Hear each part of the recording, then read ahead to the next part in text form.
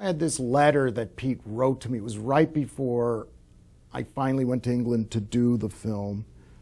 Um,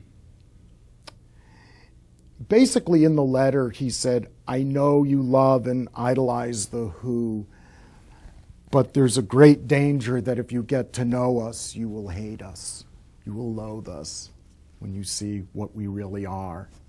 I think you know, he had a good idea of the experience I was going to go through, the baptism in fire. I think anybody that became involved in the with the Who, I wouldn't say I was necessarily intimately involved. I mean, I did work on this for at least four years in their camp, but there was, I think, some kind of you know ritualistic torture, some kind of rituals they put people through to see, you know, if you had the gumption to like stick it out. You know, I suppose some kind of hazing, whatever.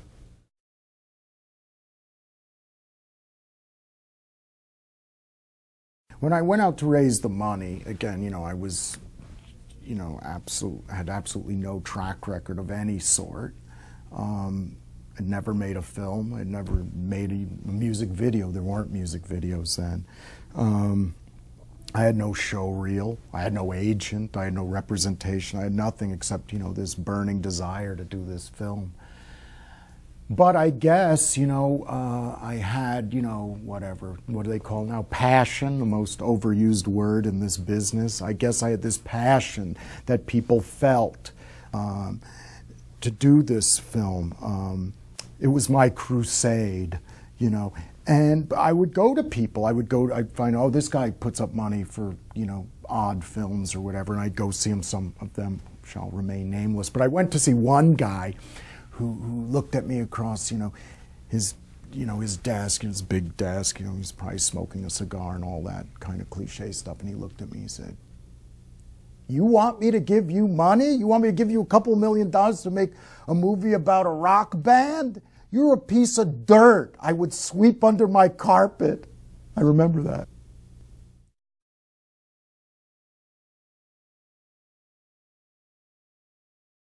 Eddie, the editor, and myself moved to Soho, where we then shared a floor of editing suites with um, Thelma Schoonmaker, who was editing um, uh, Wings Over America, Paul McCartney's documentary. And I remember um, fondly, uh, Paul would come up, you know, he's supposed to be screening uh, the Wings film, and of course, he'd come over to our cutting room instead and sit there and uh, carry on with us and, and what he loved the Who. He's a huge Who fan. He loved sitting there watching this stuff. And of course, you know, here I am. I mean, you know, I'm this, you know, guy from Queens and, you know, I'm a rock and roll fan. And here's Paul McCartney sitting in my editing room watching this. I mean, it was just, it was incredible. But um, there were a lot of incredible experiences making this film. and the, the characters, uh, you know, if one was a rock and roll fan, which I was, I mean, uh, the people I met, the legendary people, uh, I mean, I, would go out at night, go around the pub, the ship on Wardour Street, kind of a famous music biz pub, and it would be Pete Townshend and Malcolm McLaren and Kit Lambert and me. And, and, and Malcolm be trying to get you know ideas off of you know Pete and Kit how to you know produce like a controversial band you know later. You know, of course he was doing the Sex Pistols. Moments like that. Meeting Dave Clark who you know from the Dave Clark 5 you know to get the Ready Steady Go footage. Nick Roeg who had made Performance my favorite rock and roll movie I guess of that time. I, who had been a a director of photography before he became a director. I actually asked him to be the DP. the kids are all right. I guess I had such cheek or I was so stupid. I asked him to, to he'd be the director of photography for my movie. You know, he's this huge director. You know, it was hilarious. I didn't know better. Um, uh, and the people out there then it was in the middle of the, the punk movement. So, you know, you know, hanging out with, you know, Johnny Lydon and Sid Vicious. Sid still owes me five pounds, actually. But um, filmmakers, I mean, the, the, the, first screening I ever had of The Kids Are All Right, of the first answer print, uh, it was Marty Scorsese and Ringo and Patty Harrison, who you know Eric Clapton wrote Layla about. Uh, you know, it was just amazing things for a rock and roll fan to to be in all of that. You know, have Ringo come and interview Keith Moon for you. It was it was a unique experience.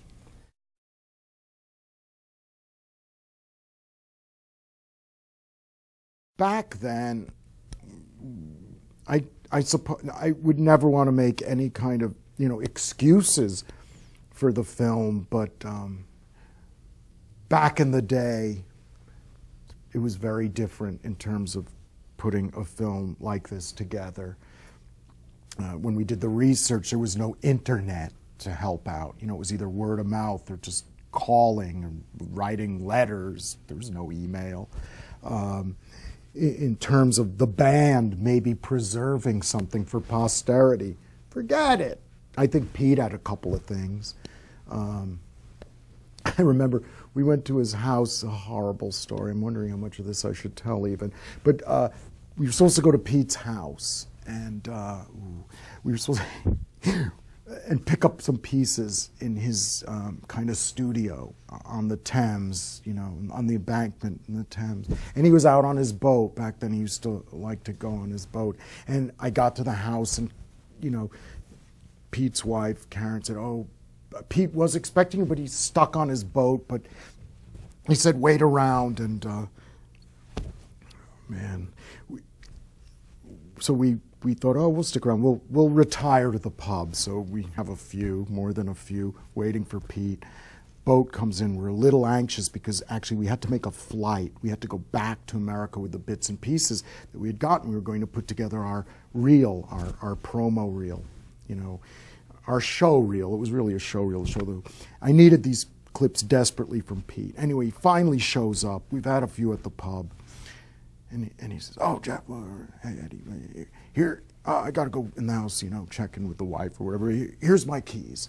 It's in the studio on this shelf, whatever." And I, give the keys to the kingdom or whatever. And I'll never forget there was a, this keychain this this thing with Meher Baba, you know, Pete's guru on it, this like plexiglass thing or whatever, and this keychain. And I go to his room, I'm very nervous and so on and so forth. And go and I start to open the doors and I drop this thing and it just breaks and there's Meher Baba popping out, you know, on the and I'm just, oh my God, I'm never going to get to make this film. I mean, I just ruined Pete's treasured thing. Oh my God, you know, I, I, I just wanted some clips.